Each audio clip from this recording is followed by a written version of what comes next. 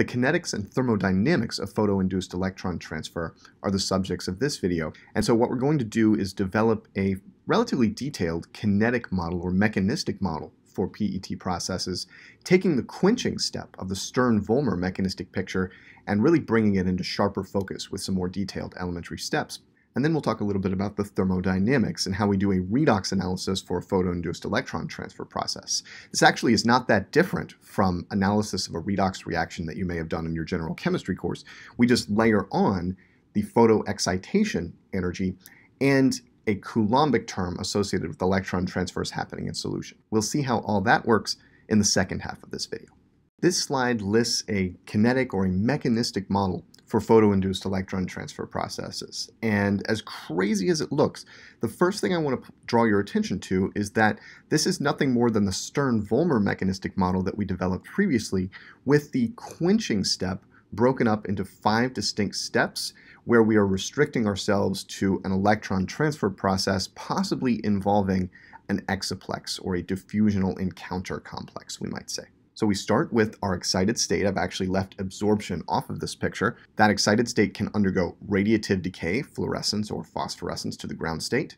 It can undergo non-radiative decay, where M star becomes M with the release of heat.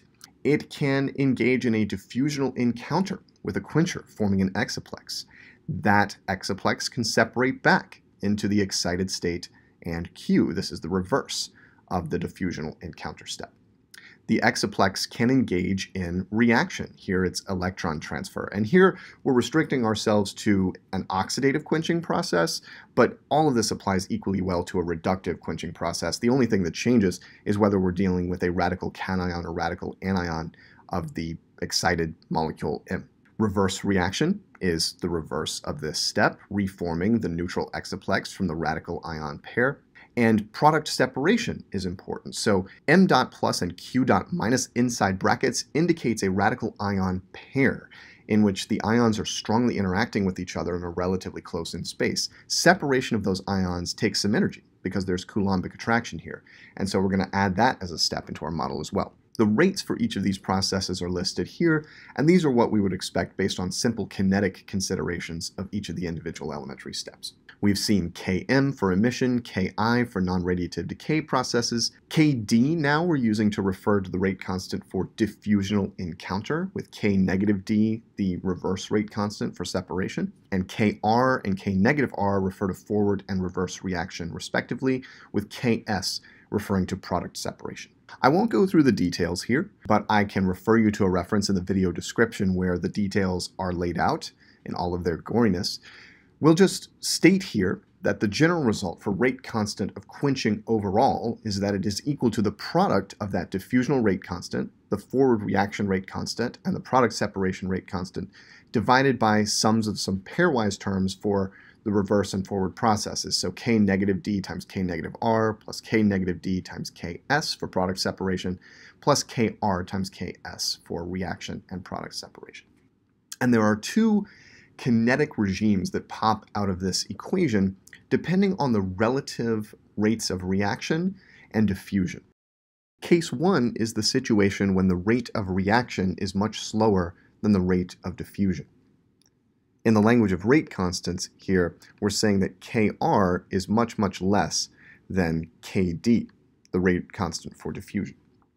Under those circumstances, the terms containing Kr in the denominator can drop out because Kr is much smaller than Kd. And two dominant terms remain when we do this. Kd, Kr, Ks, of course, in the numerator remains, and in the denominator, the most important term becomes Ks K negative D, since the rate constant for reverse diffusion is also going to be much larger than the rate constant for reverse reaction. When we drop out these other terms, we end up with the equation you see here. The rate constant of quenching is approximately equal to Kd times Kr divided by K negative D. Notice that the rate constant for product separation divides out here as well. The rate constant of diffusional encounter divided by the rate constant for separation of the exciplex is an equilibrium constant for diffusional encounter, big KD.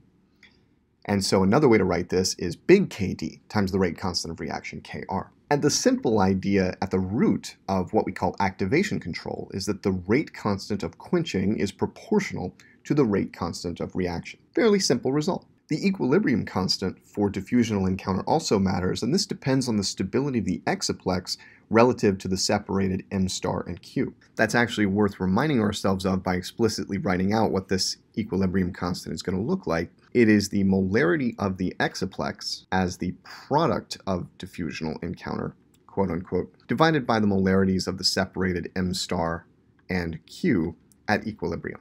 So here the quenching rate is controlled by the stability of the exciplex, as well as the rate of reaction, which makes intuitive sense since the rate of reaction is much slower than the rate of diffusion. And so there are many diffusional encounters that do not lead to reaction in this regime. In case 2, the reaction rate becomes much faster than the rate of diffusion. And so now we essentially flip the inequality with Kr much greater than the rate constant of diffusion. Intuitively, this means that every single diffusional encounter results in a reaction taking place, since diffusion is now the rate limiting step. This is why this is called diffusional or diffusion control. In this situation, we deal with this KQ equation in a somewhat different way, treating KD as much, much smaller than KR. This allows us to ignore any terms that contain KD or K negative D, which includes this first term right here, and this term here in the denominator. The dominant term in that denominator is clearly going to be Kr times Ks, since we've stipulated that Kr is much, much greater than Kd and K negative d. And so the simple result that we arrive at here, which should make intuitive sense, is that Kq is approximately equal to Kd.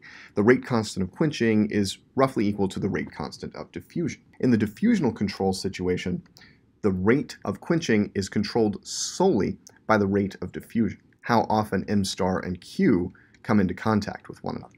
And of course, here we've focused on electron transfer as the reaction process, but it's worth noting that this analysis can also be applied to any photochemical reaction. We can identify two limiting situations. Either the reaction is slower than diffusion, case one, in which case the activation energy of the rea reaction really controls the rate of quenching, or the reaction is faster than diffusion, in which case it's the rate of diffusion that controls the rate of quenching. Toward the end of this video, we'll see this play out in practice when we look at the rate constants of various electron transfer processes as a function of their thermodynamic delta G. But first, we need to deal with calculating or thinking through that thermodynamic delta G. Like all redox reactions, photoinduced electron transfer can be envisioned as two half reactions, an oxidation process and a reduction process. And we can use redox potentials to get a sense of the free energy change associated with any photoinduced electron transfer process. The wrinkle with PET is that we have to incorporate the excitation energy of the excited state as well. And so this is slightly different for oxidative and reductive quenching, and so we'll look at equations for the two cases. They're going to be highly analogous to one another. Let's begin with oxidative quenching, in which the excited state serves as an electron donor and the ground state, A, as electron acceptor. We can break this up into oxidation and reduction half reactions. The excited state D star donates an electron to A and therefore undergoes oxidation. It loses an electron to form the radical cation D dot plus. This is an oxidation process. At the same time, a undergoes a completely ground state reduction process, gaining an electron to form the radical anion A dot minus. This reduction process of A to A dot minus is associated with a reduction potential, E naught, for A and its radical anion. That is a contributor to the free energy change of this PET process. The oxidation process is a little bit more complicated because it's not the ground state of D that's undergoing oxidation. It is the excited state. However, if we think about how we made D star in the first place, we'll realize that D star was made through photoexcitation of D. That's what makes this a photoinduced electron transfer process. And the energy input associated with this is the excitation energy associated with the excited state D star, which we're going to denote as E star D. And so we can think of the overall oxidation of D to D dot plus as happening via the intermediacy of the excited state D star. Temporarily ignoring that we go through D star, we can realize that This oxidation potential makes a contribution to the overall free energy change of the PET process. And notice here that E naught D dot plus D is the reduction potential of D's radical cation. Since D is undergoing an oxidation process, the reverse process, a negative sign appears here in front of that reduction potential. Finally, we need to take into account the fact that D is photoexcited to D star. Light provides a driving force for this electron transfer process. And so the excitation energy associated with D star is added as a negative term since that is going to decrease or make more negative the free energy change of the PET process. And these values highlighted in red, blue, and green are generally the three things we need to know to do a redox analysis of a PET process. The excitation energy associated with D star relative to the ground state of D, the reduction potential associated with the electron acceptor, and the reduction potential associated with the radical cation of the donor, or equivalently, the oxidation potential of the neutral donor molecule. These potentials are multiplied by this factor F, which is Faraday's constant, essentially for our purposes a conversion factor from electrical potential, which is typically expressed in volts, to an energy value, which may be expressed in electron volts, kilocalories per mole, or kilojoules per mole. Very commonly, these excitation energies are expressed in kilojoules or kilocalories per mole directly. Let's work relatively quickly now through the reductive quenching case, where all that's happened is the electron donor and electron acceptor have switched roles. Now the electron acceptor is in an excited state. We can still break this down into oxidation and reduction half reactions. First, let's focus on what happens to the excited state. A star gains an electron.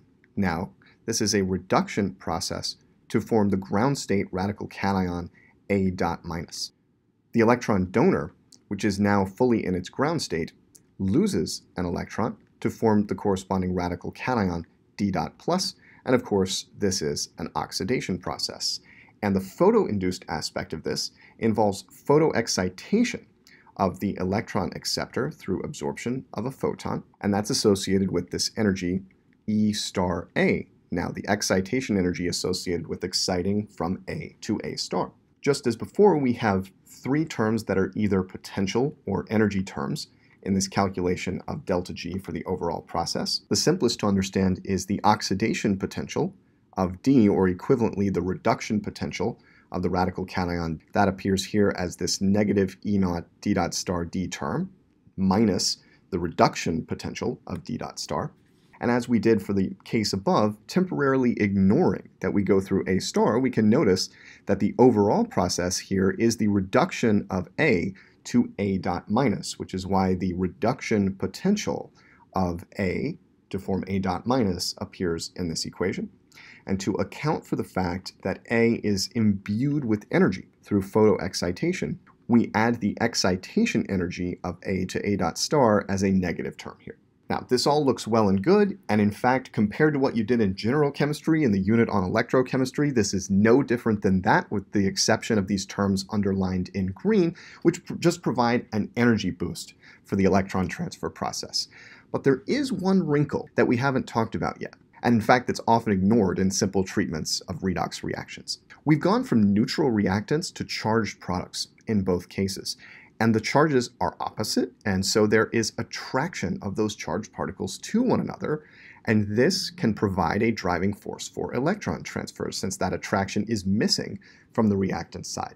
It's a Coulombic attraction term that we can add in as a negative term onto these first three terms to get a more accurate picture of the free energy change. So let's work quickly through this Coulombic attraction term. On the product side, we have a radical cation, let's call it D dot plus, and let's represent it simply as a sphere to keep things simple. And we have a radical anion, A dot minus, derived from the electron acceptor. These are separated from one another at some distance. We're going to call that distance R, the separation between the centers of the radical cation and anion. And there is Coulombic attraction associated with the charges and the separation distance between the cation and anion.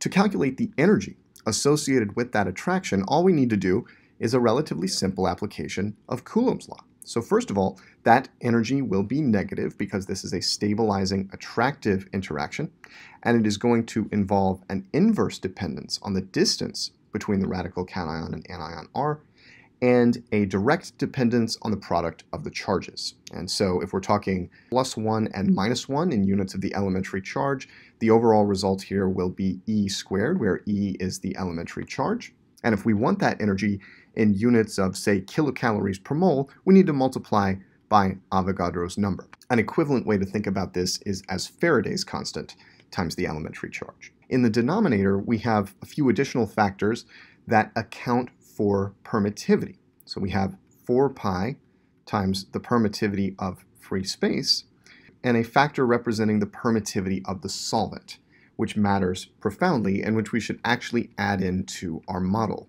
The per relative permittivity of the solvent, how much electric fields are attenuated in inside the solvent, matters profoundly here. In the older literature, you'll hear this called the dielectric constant of the solvent.